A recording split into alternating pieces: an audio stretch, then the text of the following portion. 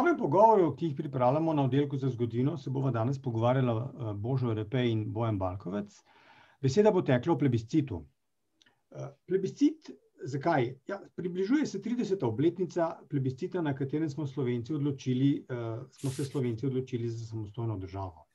Slovar pravi, da je plebiscit odločanje vseh voljivcev o pomembnih vprašanjih, pogosto so ta vprašanja povezana z državno pripadnostjo. Prebivalci Slovenije smo imeli možnost sodelovati doslej na treh take vrste plebiscitih. Prvi je bil leta 1866, ko so v Beneški Sloveniji odgovarjali na vprašanje: Izjavljam svojo priključitev k levini Italiji, monarhistični ustavni vladavini Viktorja Emanuela II. in njegovih naslednikov. Šlo je namreč za vprašanje pripadnosti tega področja Italiji ali Avstralski, pač posledica eh, vojne med obima državama in združevanja Italije večina je glasovala za. Bolj znan je seveda koroški plebiscit eh, izpred stotih let. Tudi tam je bila posledica plebiscita, da se je del slovencev priključil oziroma bil vključen v neko novo eh, državo, ni bila, eh, ki ni bila večinsko slovenska. Božo, morda za začetek le na kratko nekaj, kar sicer ni povsem primerno zgodovino pisno vprašanje, ampak vendarle. Ali lahko ta dva plebiscita in pa plebiscit leta 1990 primerjamo po pomembnosti ali pa usodnosti? No? To, to recimo je pa sploh ni kakšno zgodovinsko eh, vprašanje, ampak vseeno zanimivo. Uh, ja, torej, zagotovo so neke primerjave ali so sledje možne. Ne? Eh, kaj so razlike in kaj so podobnosti? Torej, oba plebiscita, ki si jih pravkar opisal, sta robna, da se pravi, zadevata rob nacionalnega ozemlja, ker vsi trije plebisciti zadevajo slovence kot narod. Ne.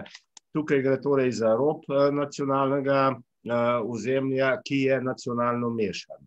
Ne. Tako bi v tem primeru Italije, Benečije, ne, Beneška Slovenija, Reazije, uh, dela Furlanije, kot tudi, kot tudi Koroške. Ne. Eh, kaj to pomeni? Ne, če, če izhajamo sedaj iz nekih nacionalnih ciljev, kako jih mi predstavljamo, da se krat tudi mitsko, ne, torej iz programa Zadinjene Slovenije, se je s tem uh, skrčilo slovensko v naši percepciji slovensko nacionalno ozemlje, ki pa je bilo mešano. No, tretji plebiscit se je odvijal v povsem drugačnih okoliščinah. Odvijal se je pač v uh, nacionalno homogeni Sloveniji, Ne, to je pač ta proces, ki ga poznamo z ustanovitvijo kraljevine SHS, ne, z procesi tudi etničnega čiščenja ne, Nemcev med, po drugi svetovni vojni, kar je seveda posledica njihove nacifikacije in, in drugih procesov. Tako da ta osrednji del, ne, ki je, tudi to je treba povedati, ki je bil recimo v času teh dveh obeh plebiscitov, ne, Eh, prav tako nacionalno mešan, čeprav večinsko slovenski, ne, ampak so tukaj še živeli Nemci, pa tudi pripadniki nekaterih drugih narodov, ne, v, v prekmurju Judije in tako naprej, Romi. E, torej, to ozemlje, ki je bilo nacionalno mešano, je do tega tretjega plebiscita torej postalo nacionalno homogeno. Ne, to je neka taka skupna točka, ki jo lahko iščemo. Ne? Ker lahko bi se zgodilo, če govorimo o VIF historiji, da bi se nekaj podobnega zgodilo tudi z osrednjim delom slovenskega ozemlja, če ne bi seveda nastala Jugoslavija in bi ostali pri historičnih državah znotraj Avstro-Ogrske. Predno greva na osrednji del pogovora, za uvod še nekaj o pravici do samoodločbe. V socializmu je veljalo, da sicer jugoslovanski narodi imajo pravico do samoodločbe, ampak da so jo na nek način udejanili oziroma izkoristili z ustavo oziroma z vključitvijo v Zvezdno Jugoslavijo leta 1945. Na drugi strani pa je bilo eno od znanih stališč srpskih nacionalistov v 80-ih letih, ne, da je Kardeljeva ustava iz leta 1974 pravzaprav zakoličila uh, razpad Jugoslavije. Kako pa je slovenska opozicija in tudi oblast od sredine 80-ih let v različnih programih videla Jugoslavija? Je bilo to zadnja stopnja v reševanju nacionalnega vprašanja? Uh, torej, kar zadeva vprašanje definicije investite, ne, uh, je treba najprej to reči, kar, kar zadeva prejšnje dva. Ne. Uh, tega v Italiji, ta v Italiji je bil poizvedovalni. Ne, se pravi, tudi če bi vsi glasovali, je samo eden proti vključitvi v Italijo, en sam glas. Ne pri slovencih. Uh, ampak tudi, če bi vsi glasovali, to ne bi, glede na nacionalno strukturo, ne bi nič spremenilo. Pa tudi, če bi tudi italijani glasovali za Avstralijo, bi verjetno to ozemlje še vedno pripadlo Italiji, ker je bil to dogovor velikih sil. In, in to je treba imeti v mislih tudi pri recimo tem našem plebiscitu, zadnjem plebiscitu. Ne. Drugi plebiscit Koroški, ne, kot veš, je bil v bistvu določen prav tako v mednarodnem kontekstu na Pariški mirovni konferenci. Torej, pravica do samo odločbe, vključno s pravico do odcepitve, je bila, je bila vključena v vse povojne jugoslovanske ustave in to na zahtevo Slovenije. Ne, ta že, že ob glasovanju za prvo oziroma v razpravah za prvo ustavo, Jugoslovansko ustavo leta 1946, je to zahteval Josip Vidmar v imenu slovenskih predstavnikov in je bilo sprejeto. In to je bilo potem tudi v kasnejših dveh ustavah iz leta 1963 in 1974. Eh, problem eh, tega je bil, eh, kar si že nakazal, da so na definicijo ljudje gledali različno, na tedajni politiki, vse čas po vojni. Ne. Gledali so jo, v bistvu so jo največ gledali kot neko, da tako rečem, kozmetično zadevo. Ne. Nekaj, kar sicer nekako ustavo sodi, ni pa uresničljivo, oziroma je že bilo izkoriščeno, je bilo konzumirano. Ne, ker so se Slovenci že dvakrat, prvič po uh, razpadu Avstralske in drugič, seveda. Na nek način bi lahko rekli, bolj plebiscitarno, z odporniškim gibanjem, vključili v Jugoslavijo. Ne. Eh, če bi ta eh, pravica bila mišljena resno, bi moral biti sprejet tudi zakon, ne, po katerem bi se ta eh, proces izvedel. Ne. Vemo, da so podobni problemi bili in so še vedno tudi v Evropski uniji, da recimo v Španiji oziroma Kataloniji niti ne omenjam, ne, ker Eh, iz Evropske unije do te Lizbonske pogodbe tudi ni bilo mogoče izstopiti. Recimo, ne, šele sedaj se ta proces nekako eh, izstopa, oblikuje. Ne, eh, torej, ob koncu, ob koncu Jugoslavije, torej, ko, se je, ko je začela razpadati tam v letih 88, 89, zlasti 89, ne, začetek 90, so uh, Srbi predlagali zakon o cepitvi. Jovič, ne, kot član in potem predsednik predsedstva SFRJ, je predlagal tak zakon, ki pa nikoli ni bil uh, torej oblikovan, formuliran, niti se v njem ni razpravljalo. Njegovo bistvo pa bi pa seveda bilo, da se republika odcepi, torej Slovenija se odcepi, Jugoslavija ostane in Slovenija mora tudi plačati svoj odhod iz Jugoslavije. Ne? Torej nekaj podobnega, kot se sedaj dogaja z Veliko Britanijo. Aprila 1990 smo šli na prve večstrankarske volitve po drugi svetovni vojni. Je bil odhod iz Jugoslavije del volivnega boja in kako resno je bil mišljen? No, gotovo stranke na volitvah so vse zagovarjale uh, samostojno Slovenijo, uh, kar je bilo na koncu formulirano tudi v plebiscitu, uh, niso pa definirale uh, natančneje, kakšna naj bi ta samostojnost bila. Torej, dopuščena je bila možnost samostojnosti znotraj preurejene Jugoslavije, torej mišljena je bila predvsem konfederativna Jugoslavija. Ne. Tako da, če bi dala pod črto, bi rekel, vse stranke, ki so šle na volitve, ali velika večina, se je zauzemala torej za neke vrste konfederativno Jugoslavijo, pri čemer je del strank, predvsem levo-liberalnega pola, računal, da je to pač neka končna rešitev, ne, da, bo da bi lahko Jugoslavija obstala ob neki demokratizaciji in konfederalizaciji. Ja, desni, pretežno desni del političnega pola je pa računal, da je to samo umestna faza do, do samostojnosti. Ne. No, tudi praktično vsi politični dejavniki tistega časa so se v začetku leta 1991, torej tam nekje v januarju, februarju, ko slovenski predlogi za, za preureditev Jugoslavije, za konfederacijo niso uspeli, zedinili okrog tega, da z Jugoslavijo ni več obstanka, da, da ni več mogoče in da se torej ta plebiscitna volja, ne, ki je bila izražena uh, nekaj uh, prej, ne, ne prav dolgo prej, mesec, dva, uh, da se uresniči v obliki dosega samostojne države. Oktober 90 so socialisti v Republiki skupščini predlagali, naj se izvede plebiscit o samosvojitvi. Kaj jih je k temu spodbudilo? Saj so bili le manjša opozicijska stranka. Kot vemo, je Demus to gladko zavrnil, ampak čez nekaj tednov ugotovil, da je, bi bila njegova ideja o poti v neodvisnost prek ustave zelo dolga in precej zapletena. Lahko prosim pojasniš, ali je bila ideja o poti do neodvisnosti preko ustave pravzaprav sploh verjetna?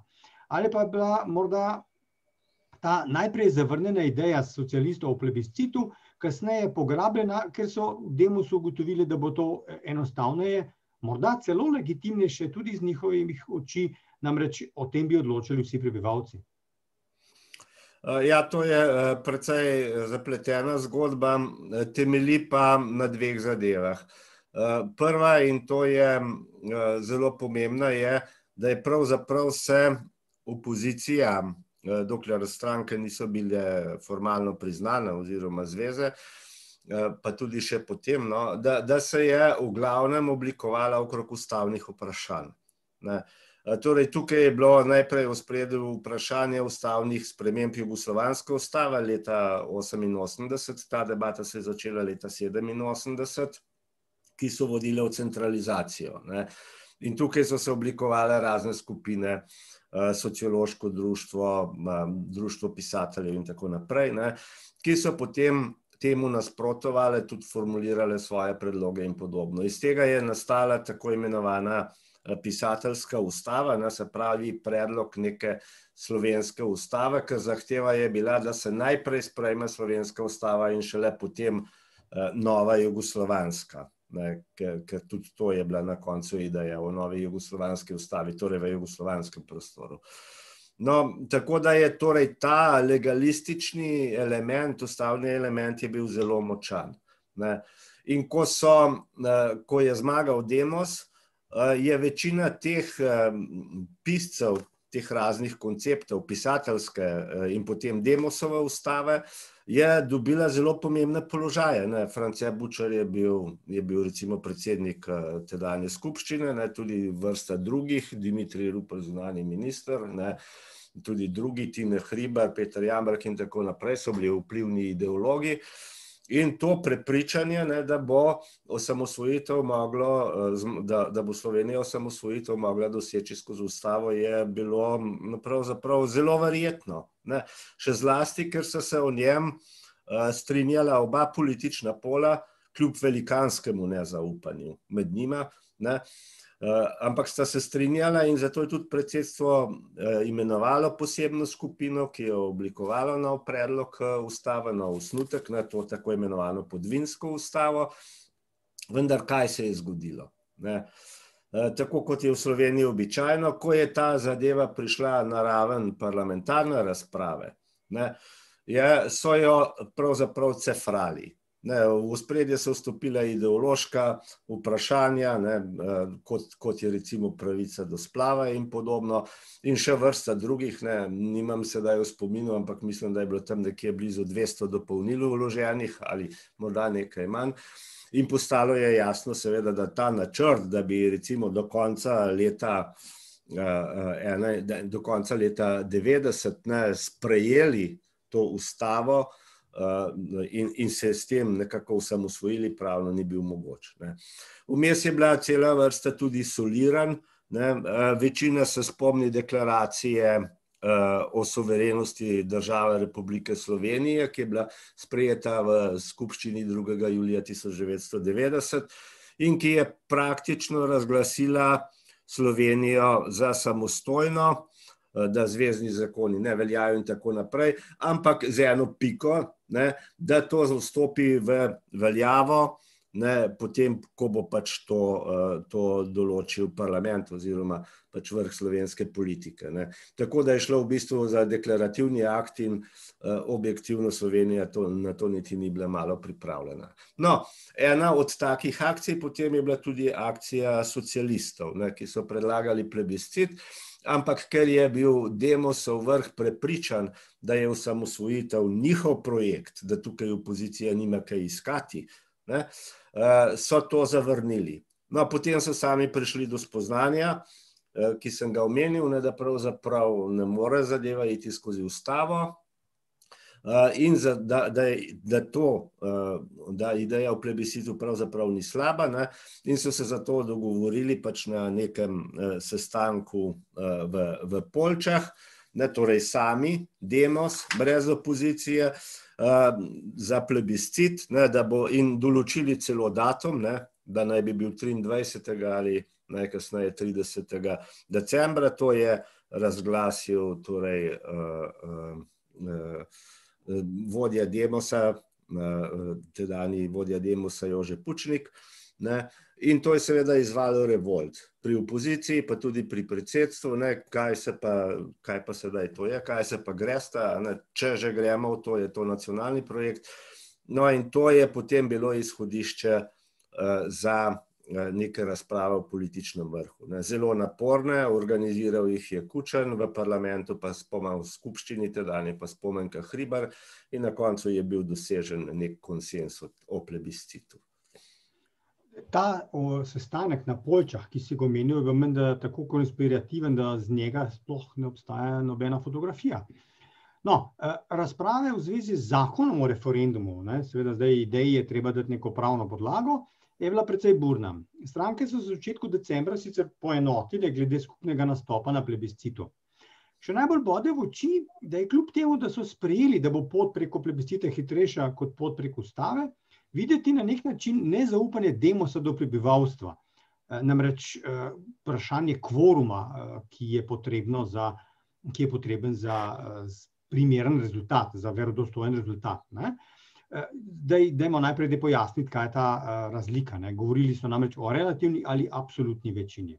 V konkretnem primeru je bila debata namreč o tem, ali bo dovolj, da glasuje večina, torej v, za eno ali drugo smer, ne, torej za ali proti, večina tistih, ki bi se udeležili, ali to je relativno, ne, ali pa absolutna večina, ko se seveda upošteva, ali je glasovala uh, tako ali drugače, večina vseh, ki imajo pravico glasovati, torej ne glede na to, ali so prišli uh, na, na, na volišče. Ne. Seveda, popolnoma logično je, da je v primeru absolutne večine je ta odločitev legitimnejša. No, kot vemo, so voljivci pokazali svojo absolutno večinsko podporo in so za odgovorili na vprašanje, ali naj Republika Slovenija postane samostojna in neodvisna država.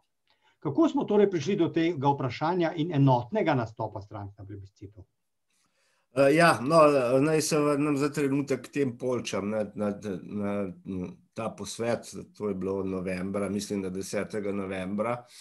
Uh, na ta posvet so bili povabljeni tudi pisci ustave. Ne, to so bili nekateri, ne, Tine Hriber, Tone Jerovšek, Peter Jambrek, najbrž še kdo. In oni so predlagali uh, plebiscit, in to je bilo po nekih začetnih dvomih sprejeto. Uh, Pričemer je seveda treba reči, da je tukaj strašen boj za zaslugarstvo, ne, da imamo razne interpretacije, kdo se je prvi spomnil, kdo je komu kaj rekel v avtu pred skupščino ali kje druge in tako naprej. Ne, torej, taka, tak tipični boj za zaslugarstvo. Uh, um, ampak uh, ideja sama torej je bila sprejeta ne, na, na tem posvetu. Ne. Potem je bilo res veliko vprašanje, kako priti do konsenza. Ne. Jasno je, da bi to demo s tisto svojo tesno večino formalno lahko izpeljal, ampak to samo po sebi, če za neko relativno uh, večino ne, na plebiscitu, Eh, dobiš odločitev za samostojnost, ne bi pomenilo veliko. Zato, zato mora biti za tako velikansko odločitev, mora biti seveda veli, tudi velika večina ljudi. No, ta pogajanja so torej potekala, bi rekel, po dveh linijah. Ne. Eh, eno so bili sestanki strankarskih prvakov, ki jih je skliceval Kučan. Eh, tukaj je šlo za politični dogovor. Ne. Drugo je bilo pa potem, ko so dosegli nek konsens, je, je bilo oblikovanje zakona o plebiscitu. Ne. In tukaj je, to je pa potekalo v parlamentu in tukaj je torej odločilno vlogo imela spomenka Hribar, ki je skušala te sprte ali različne poglede nekako spraviti na skupni imenovalec. Torej, kaj sta bila dva osnovna problema, si jih že omenil. Uh, eden je vprašanje. Ne? Uh, vprašanje, uh, okrog vprašanja so se precej vrteli. Ne? Najprej je bil predlog, ali naj Republika Slovenija postane neodvisna država. Ne?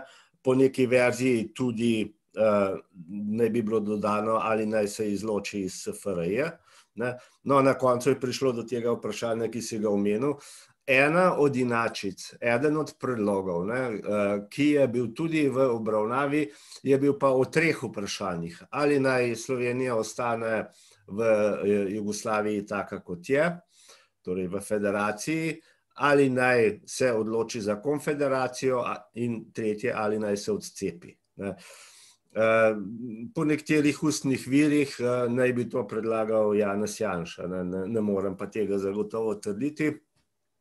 Torej, če bi ta opcija prevladala, nas si najbrž lahko predstavljamo, ne, kako bi, kaj bi se zgodilo, kako bi se ti volivni glasovi porazdelili. No, tukaj so se potem poenotili okrog tega vprašanja, ne, ki si ga že citiral.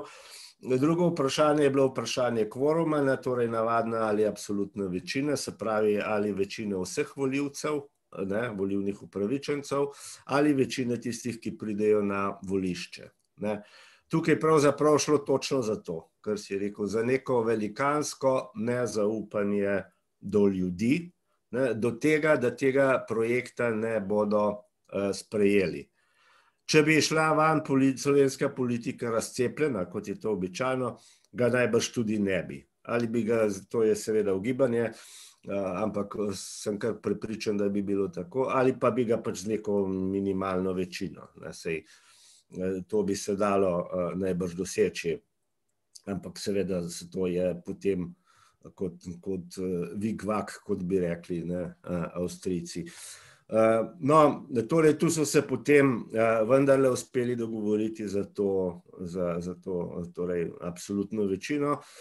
So bili pa različni komentarji, tudi še, ko je bil zakon sprejet. Ne, če, če spremljaš to razpravo, recimo teh poslancev, ne, boš, veliko je očitkov na levico, da hočejo zahtevo po absolutnem, torej po, po tem večinskem, ne, po večinskem rezultatu plebiscita da hočejo pravzaprav uh, minirati plebiscit. Veliko je bilo takih izgovorov, da je lahko slabo vreme, pa ljudje ne bodo prišli, pa da je čas počitnic in podobno. Ne.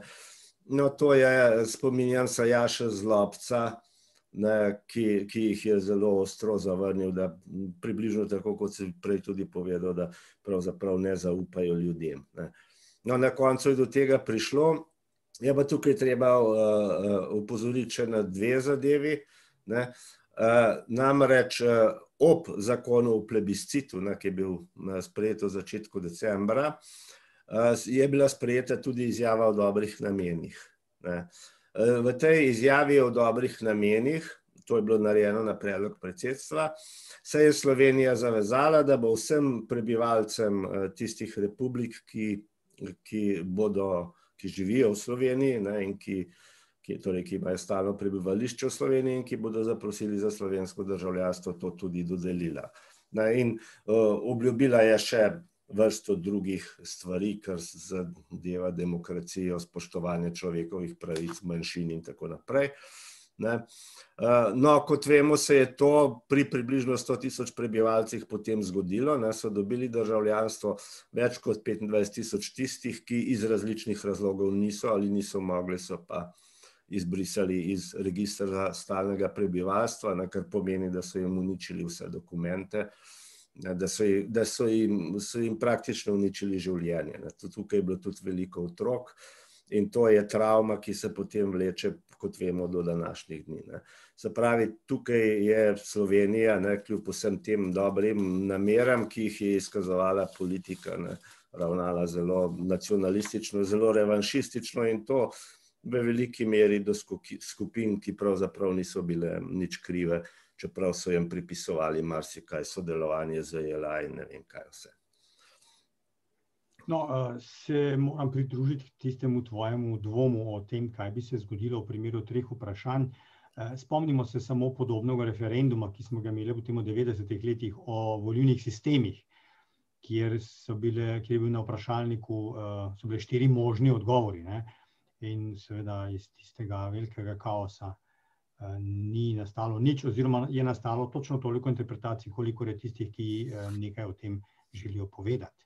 No, vrniva se nazaj, zdaj nastopil je triindvajseti december, prebivalci so odšli na volišča, oddajali svoj glas, nekateri za, nekateri proti, tudi tistih je nekaj, ki so bili proti, ohranjene so glasovnice s kakšnimi zanimivimi pripisi, kar seveda ni nič nenavadnega tudi na običajnih volitvah, ljudje kaj pišejo na volilne lističe, ki so seveda potem jasno neveljavni, ne.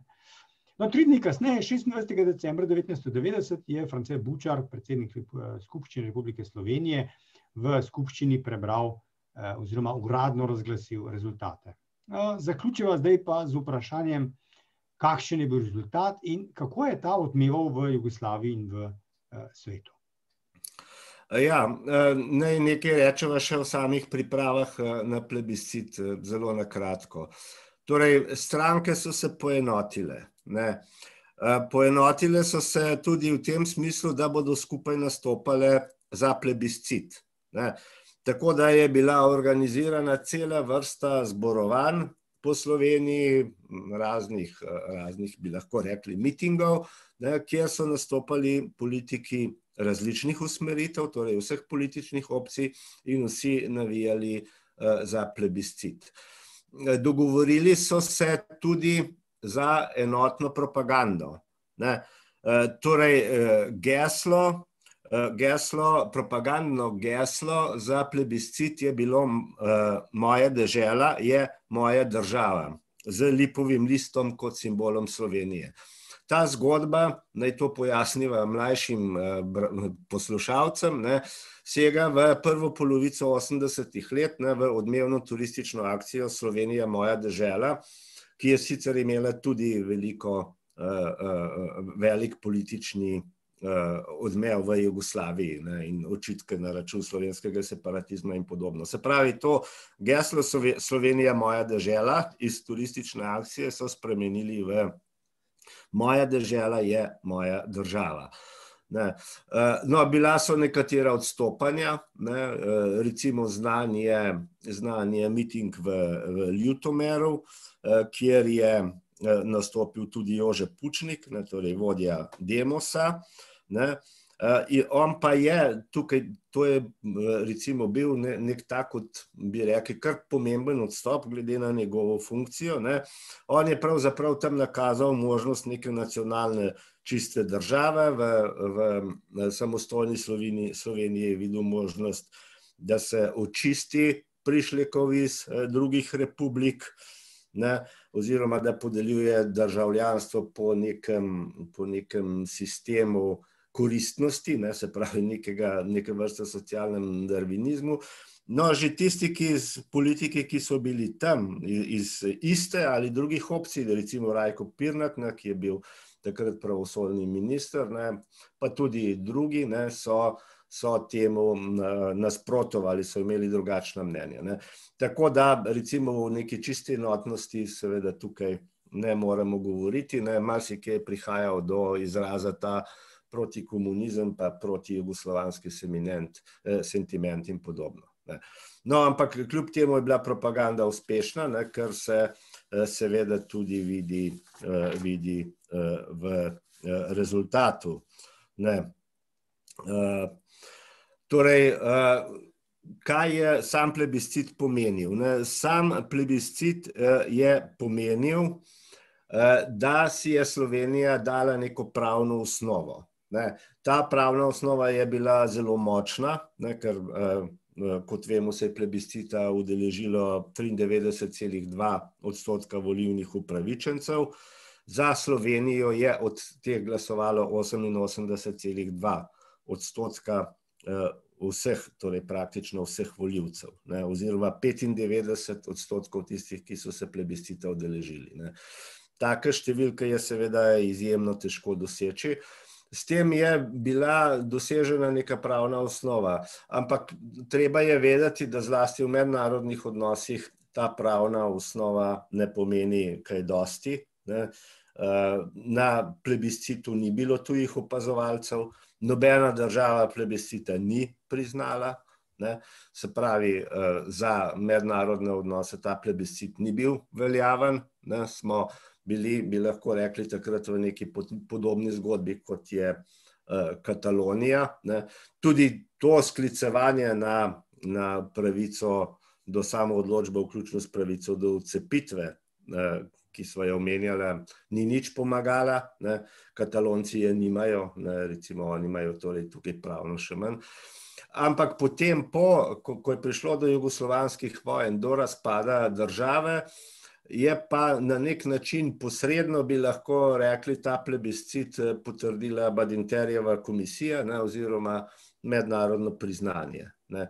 Ker je pač izhajala iz stališča, da so Jugoslavijo ustvarile posamezne republike oziroma posamezni narodi in da imajo ti pravico tudi, da jo zapustijo, ne, se pravi, imajo pravico do samoodločbe, kar se kaže tudi v v recimo interpretaciji, ne, da je Jugoslavija razpadla, ne, se pravi, tukaj ni prišlo do, tako kot v primeru Sovjetske zveze, da je bila naslednica Rusija, ne, druge so se pa pač osamosvojile, ampak je Jugoslavija razpadla, ne, kar pomeni, da tudi tisto, kar je ostalo od nje na koncu, ne, ta Zvezna republika Jugoslavije, se pravi Zveza Srbije in Črne gore, ni mogla avtomatično prevzeti dediščine niti mesta v OZN in v drugih mednarodnih inštitucijah, ampak je morala iti po isti poti kot vse druge republike. No, s tem se je seveda začel neki proces, ki je potem po šestih mesecih pripeljal do samostojne države, in potem postopoma do mednarodnega priznanja. O mnogih teh vidikih bomo govorili tudi še v naših naslednjih pogovorih. Za danes, Božo, najlepša hvala za tele odgovore. pardon, naše poslušalce pa seveda vabimo in gledalce vabimo, da se nam pridružijo na našem Youtube kanalu in si ogledajo vse naše dosedanje posnetke, s katerimi bomo pa seveda nadaljevali in vas še v bodoče vabimo k ogledu. Hvala lepa.